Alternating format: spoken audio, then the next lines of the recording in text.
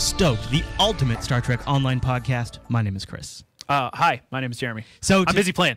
today we're doing something a little different. We every now and then we do these loose, casual episodes where we get in the game and play. And in this episode, we're we're shooting on Saturday before season two comes out, and we've got uh, a bunch of our fleet mates on Tribble, a bunch of you out there watching live as we shoot this, and we're which gonna be epic, awesome. we're gonna be jumping into uh, a game right now. Jeremy is heading to uh, where? Gamma Orionis. Gamma Orionis. I'm going to be running the chat room. In a little bit, we'll have TeamSpeak here. Uh, before he gets into the gameplay, I wanted to tell you guys a little bit about a new show we've launched. If you uh, if you've been enjoying Stoke, you should check out Jupiter at Night. It's a new live show we're doing 9 p.m. Pacific, Monday through Thursday, and then the show comes out for download pretty much within an hour or two after the live show, and you can catch it anytime. So I just thought I'd mention that because uh, you might like yourself some Chris and Jeremy. And I, I know that it might seem biased to say this, but I think it's becoming one of my favorite shows on the network. I know. Well, mean, it, it is because it's what's fun is like this last week we were able to cover stuff as it came up. So like the Apollo Moon landing anniversary, uh, Comic Con. Yep. Uh, we had the day the Droid X came out. We had a review on the show of the yeah, Droid X. on the day of. That's really Yeah. something that we don't get to do with some it's of our it's it's a fun opportunity for us because we usually have to wait a week to talk Plus to you guys about the stuff. live environment of doing it every night. We've got a pretty good chat room. lively community. You- Yep. We kind of got a taste of that doing these live Yeah. Stoke gameplay Yeah. events, and so it's Shifting gears back to Stoked, we're going to be playing while we while we talk about stuff. We've got some news coming up and all of that. Uh, but uh, first, uh, let's get into a little gameplay because that's what we're here for.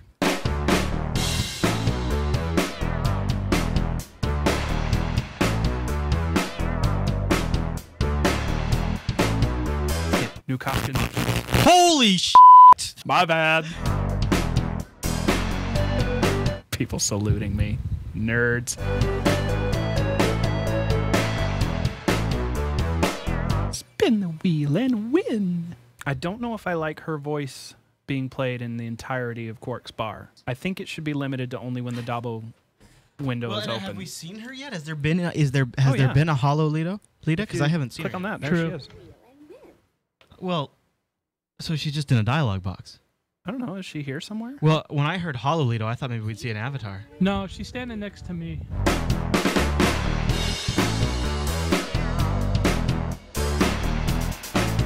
We're gonna have to warn you about possible spoilers here because this is, uh, you know, it's a game, and if you haven't been here yet, you like I have not seen this yet. Actually, neither one of us have seen this. No, this. I yet. haven't seen this mission either. Uh, but um, it okay. I've warned you, so that's your warning. But look how epic it is. Look at that.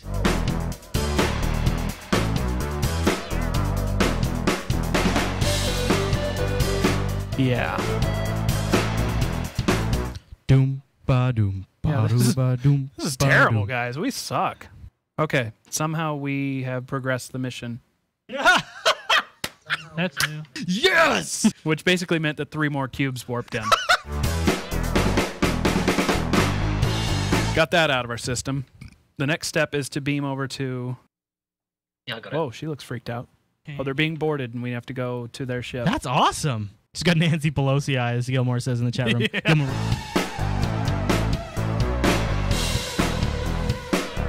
Look at how many people are in that group. So we now Whoa. have to save the Romulan hostages. We've got more Borg behind us.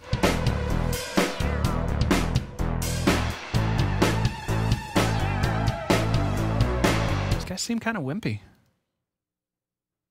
Or are we just badass? Are we badass? Well, mhm. Maybe we're badass. Mhm, mhm. Try it by yourself. That happens. I get that mixed up sometimes. No, no. Yeah. yeah.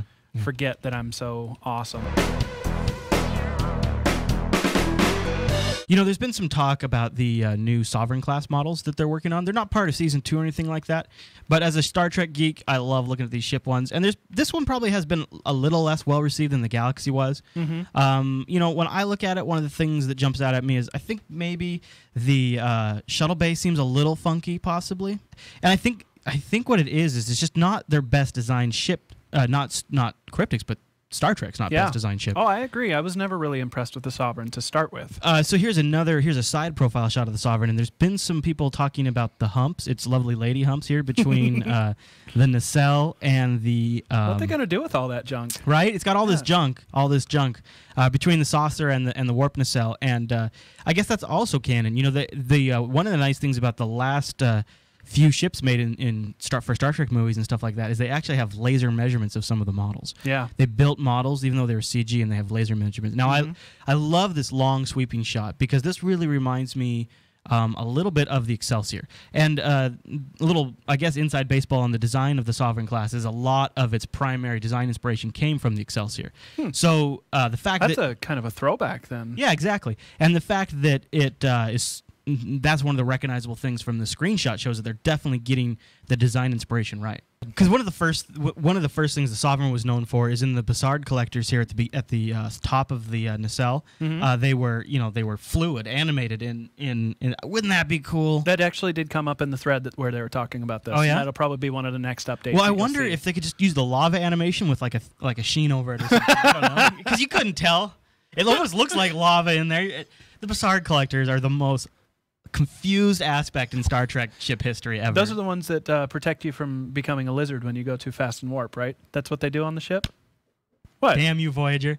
The, what they originally are supposed to be is hydrogen collectors. Oh. They're supposed to be always running hydrogen collectors, sucking hydrogen particles Why did out. they call them hydrogen collectors then instead of Bussard collectors? There is actually uh, a reason for that, and because they didn't originally know what the, the function was going to be, Hmm. so they called it Bussard collectors. They weren't sure if it was going to be like a gun from like energy directed, uh, dr- energy directed from the warp core directly, or if it was going to be some sort of like energy collection.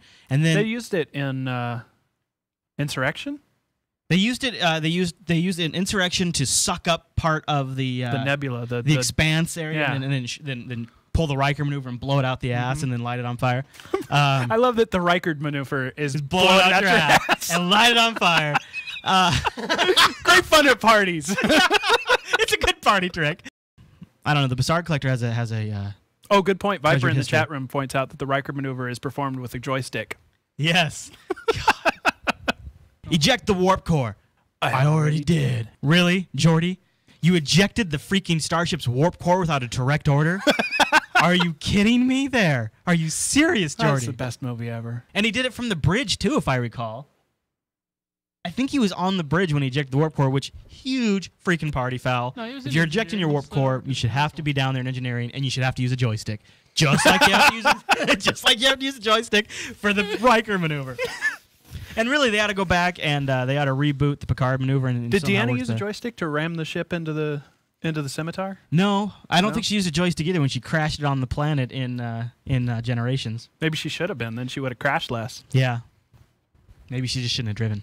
Maybe. That girl, that girl is just dangerous Curse on the those road. female drivers. I just want Those to point out something. When Jeremy just loaded up his character sc- selection screen here, uh, his Klingon uh, loaded without a bra for a second, and um, That's not that family was that was inappropriate. They all look exactly the same.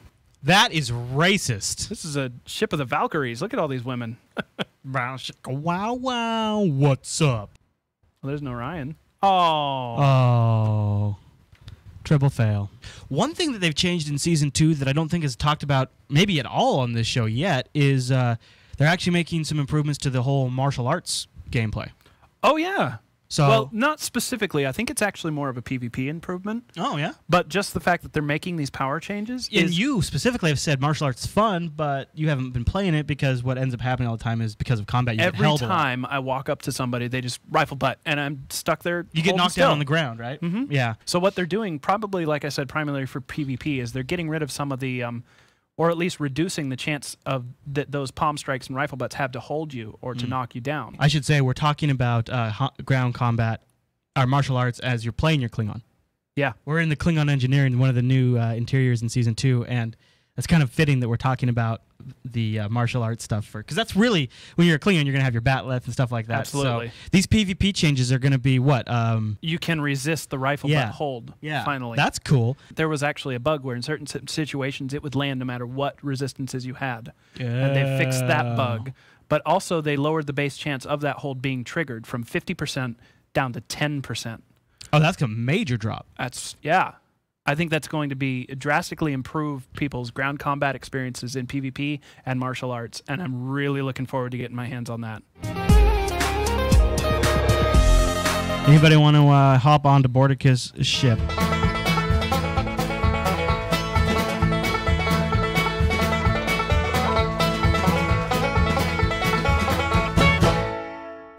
So that little uh, blob right there um, is uh, sector space, and that is fluidic space in sector space, and that's where we're heading right now. There's a portal you'll enter, and you go Okay. into. So this is my first look at it. Is this your first look at it? Mm-hmm. Okay, and this is definitely our first look at it here on the show. Yep. So we're gonna get a little shot of this with our fleeties while we're doing the live gaming and uh, check it out. I'm excited.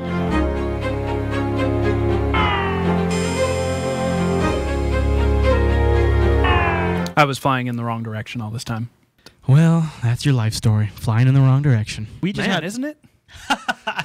the question came up about uh, weekly missions, and uh, you know that that's part of season two. Essentially, is the rollout of weekly missions.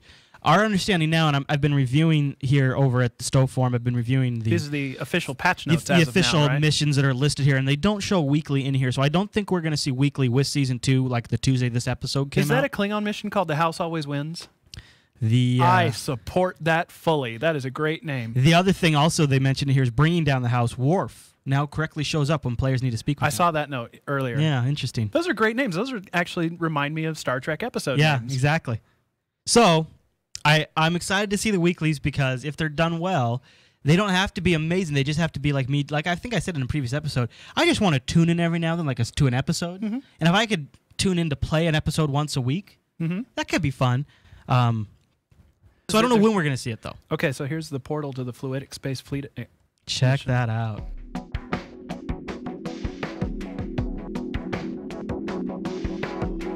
Can you do a transwarp? You know the the slipstream. I mean, and I'll try to capture that in the demo record as well.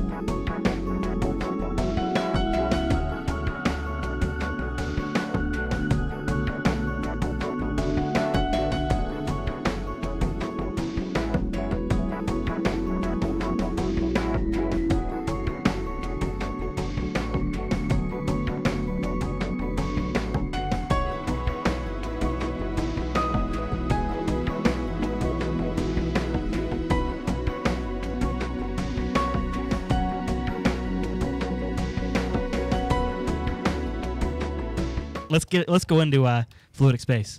They've kidnapped a Gekli, which is one of those space worm things that latched onto the. Oh uh, yeah, or- yeah, Junior. yeah, yeah, Junior. I don't know exactly why, but they're threatening to destroy it, and we're going to save it.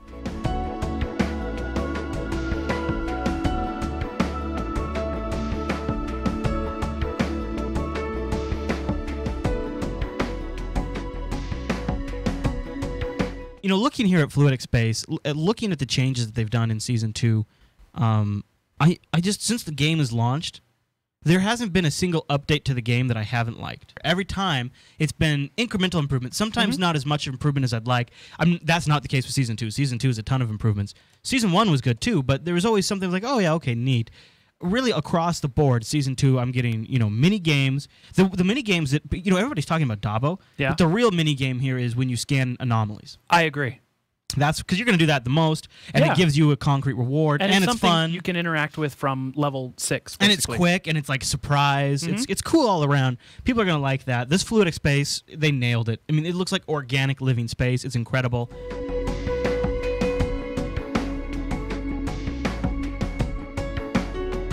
Oh, they just. I mean, I'm really happy with season two. I was really happy with the previous updates. Every time the game content comes out, it, th- these improvements are making it a better game. And one of the things that we said early on was that uh, there was um, once you got once you got through that early initial content, there was just this uh, you know total drought of content, and everything that's been added since then has been cool. Some would actually argue that the um, the special task forces were a down Okay, a downward improvement. That's true, and I haven't played those.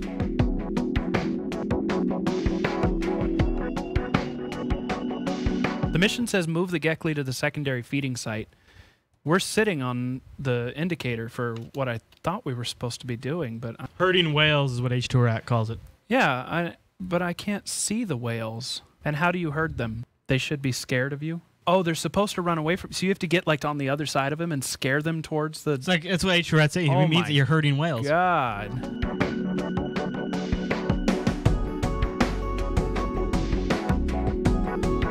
So here's my initial impression of this fleet action. This fleet action sounds like a pain in the ass. But there are, what, one, two, three, I don't know, probably 15 of us flying around this instance. And in the past 10 minutes, we've managed to get one whale to the appropriate location. Can you tractor them? You need to be able to tractor the space whales. You one. do. Or like initiate some sort of energy siphon that will lure them to your ship rather than having to scare them away. That's good. That is good. Also, um, this is not the kind of fleet action you want to do with a random group of people. You have to get the entire group basically on one side of the, Yeah. the whales and push them. And But- if anybody is on the other side, it's going to screw it up. I think it's a great idea. I really do. I like seeing more innovative um, goals in the game like this. I'm just giving people a heads up. You don't want to do this with some random because one person can screw this up. What if you? Is this only a fleet action?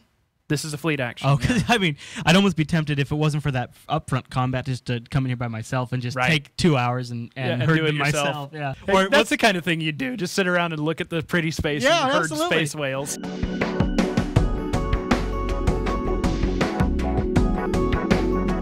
In today's math segment is something kind of new. It's not so much a gameplay mechanic thing that Jeremy's going to do, but he's actually going to show you how to use a tool that records at the 3D texture level every aspect of the instance you are playing in. It is epic. This tool is actually so powerful, and I'm not kidding here, we actually considered not telling you about it.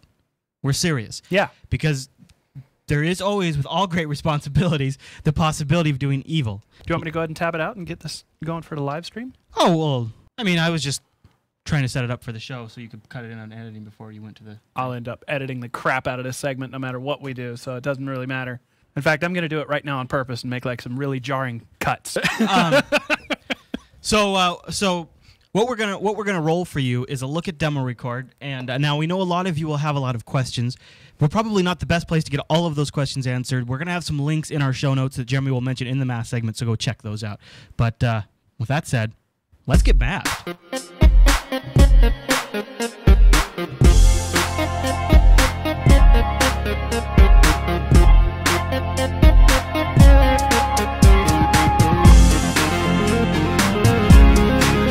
On today's You Got Math segment, we're going to be answering a question that a lot of you have asked us. All like 807,000 bajillion of you have written in at one point or another and said, Hey dudes, how do you do those epic sweeping camera shots that you put in so many of your episodes? And to that I say, Hey dudes, that's a lot of you that have written to us, and therefore we must answer. So today I'm going to give you a tutorial on the tool that we use. You see, it's built directly into Cryptic's engine.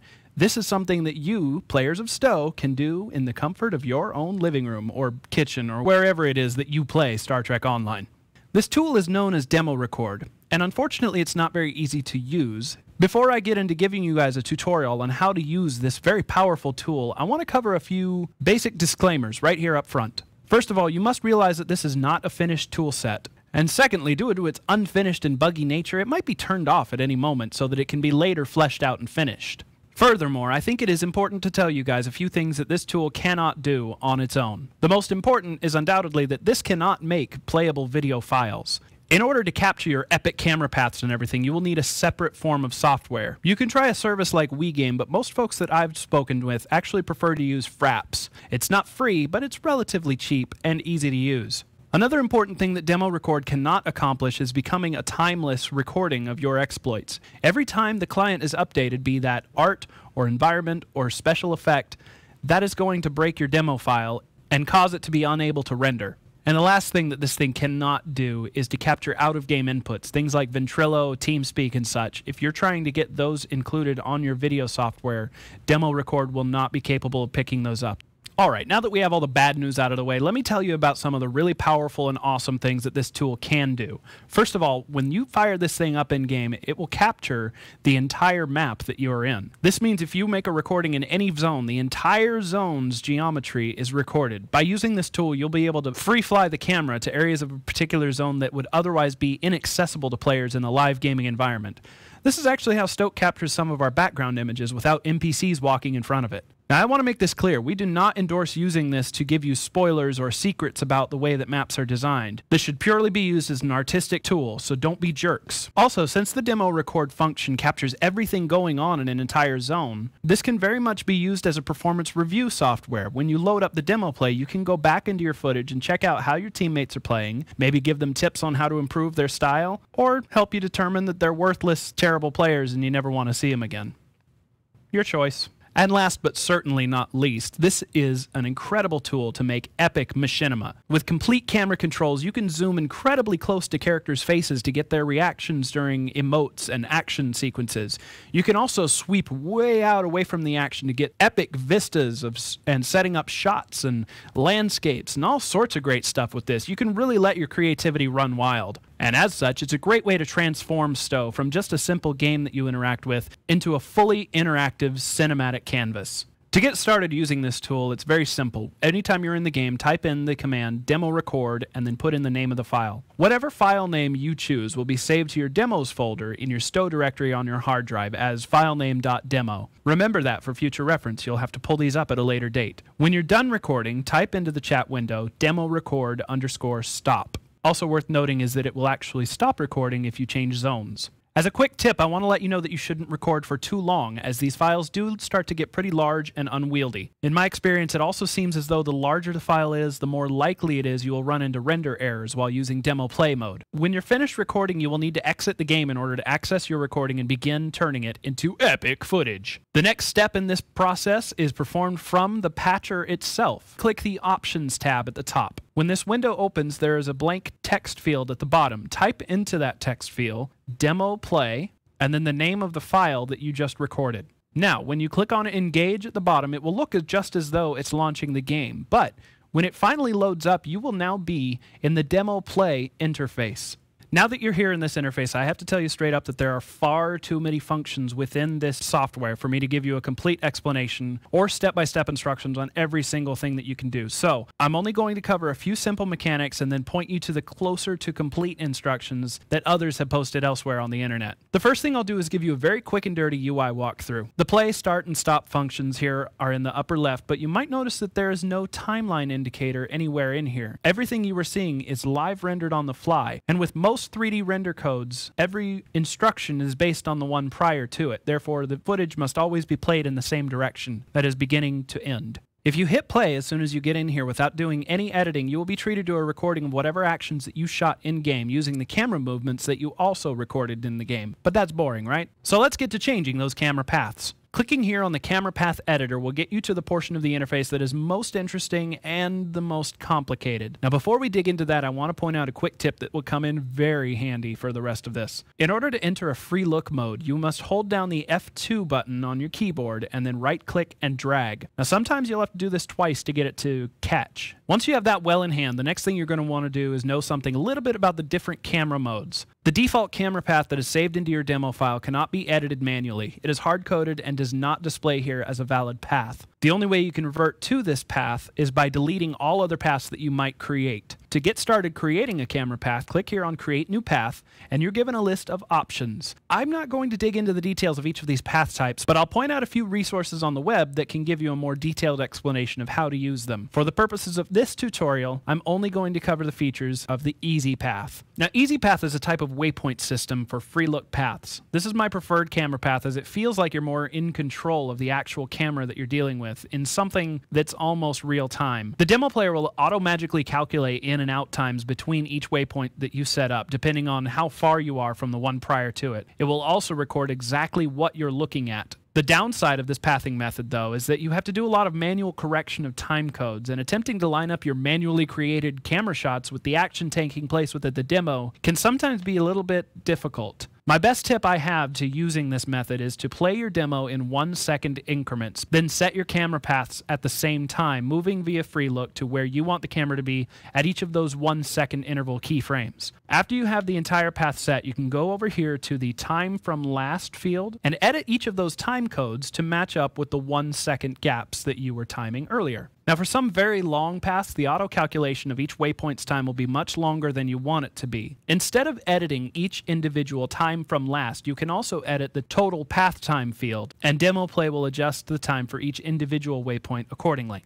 After every edit that you make, be sure to click the save button at the top, because if you don't save, the render doesn't know to change anything that it's doing, and the commands that you've made in this user interface don't get sent to the render engine. Once your camera paths are saved, rewind your footage to the start and prepare to be amazed by your own cinematic masterpiece. You can turn off the camera paths here to get a feel for how your shot turned out, and click in an empty space to deselect any camera points you may have highlighted. Using most camera path types, each individual waypoint can be adjusted a bit after you've put them in place, using the colored arrows attached to each of them. However, in some path types, you don't have as much control as you might like. Easy Path, for example, doesn't allow the editing of the direction that the waypoint is facing, only the position that it's in. As such, fixing an error after it's in place can be difficult, so I highly encourage you to take your time and frame each shot carefully as you set your waypoints. And that's actually all the input that I have for you guys at this time, but that should be enough of a walkthrough to get you guys started well on your way to creating epic Star Trek fiction that could put J.J. Abrams in his place once and for all. I'm including a link at the end of this to an incredible guide put together by one of our Jupiter Force fleeties named Mac, and this guide will offer you additional information and instructional assistance. It's well worth a read for anyone that's interested in using Demo Record. There is also a forum thread that I will link that is dedicated to this tool.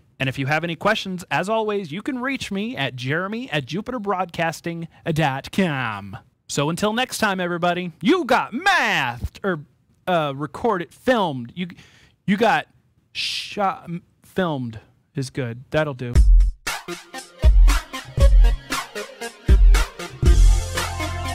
Last week's episode, we talked about our idea for the mail segment. We wanted your epic mission ideas. Those submissions need to keep on coming in. We're getting some good ones. Yep. And uh, you, can, you can send more of your ideas to stoked at jupiterbroadcasting.com. We were looking for maybe some multi part act missions that have sort of an epic story arc that is really awesomely Star Trek. And the more realistic it is, uh, To the more- current game mechanics, Yeah, right? yeah, thank you. If you Uh, have to are stretch the mechanics a little bit, remain somewhat realistic. We had an idea though because we've been actually getting some really cool submissions, and the main reason we kind of wanted to push this out is uh, we wanted to allow for one more week. So next episode, episode forty-five, will be featuring your ideas. We're gonna pick our couple of favorites, maybe like our top what two or three, you think? Probably two or three, yeah. Maybe even four if there's some really amazing ones, and then we're gonna put it up for a vote. Yep. And we're gonna let you vote on the one you like the most, and we'll give you links to that later. Mm-hmm. And uh, the one that wins when user generated content uh, creation comes out, which we don't have any confirmed dates or releases. It's all kind of We uh, hearsay. we firmly believe that that is Yeah. the secret project. we believe that is the pro secret project, and we believe it's going to come. Um, so when it does, the the story, the episode idea that is sent to us, that is voted the highest Mm-hmm. by you, the viewers, will have the entirety of the Jupiter Jupiter Force fleet behind creating that mission. And once UGC fine tuning it, making it the best experience that we can possibly come up with. Until we can do it in UGC, we'll try to do it with demo record, which we just featured in this episode. Mm-hmm. We'll try to essentially recreate it from existing stock material as much as we can, Right. Mm-hmm. At least for visual references. So that'll be fun. At least it's a little something for the one that votes number and the one that wins number one for now. Um, well, with all of that said, I think that's pretty much everything we have for this episode. Uh, a place you can send us feedback is stoked at jupiterbroadcasting.com. You can also go over to jupitercolony.com. That's Mm-hmm. our forum. Yeah, buddy. You can also we do have a public section on jupiterforce.org. You can check out our forum there as well. And there's also facebook.com slash jupiterbroadcasting. Yeah, lean to the side, dude. Lean, lean that way. Look Why? At that. Those people there, if you're watching the video version, those are people playing with us live right now on. They Tribble. watched our Facebook. Yep, Facebook. Well done, guys. Com slash Jupiter Broadcasting is where they found out about that. So now they are featured in this week's episode, and we've had a ton of fun playing with them live. Uh, we'll be back next week with a regularly formatted episode, and we'll be featuring your mission ideas. We'd love to hear your feedback in the meantime. But until then, everyone, thanks so much for watching this week's episode of Stoke.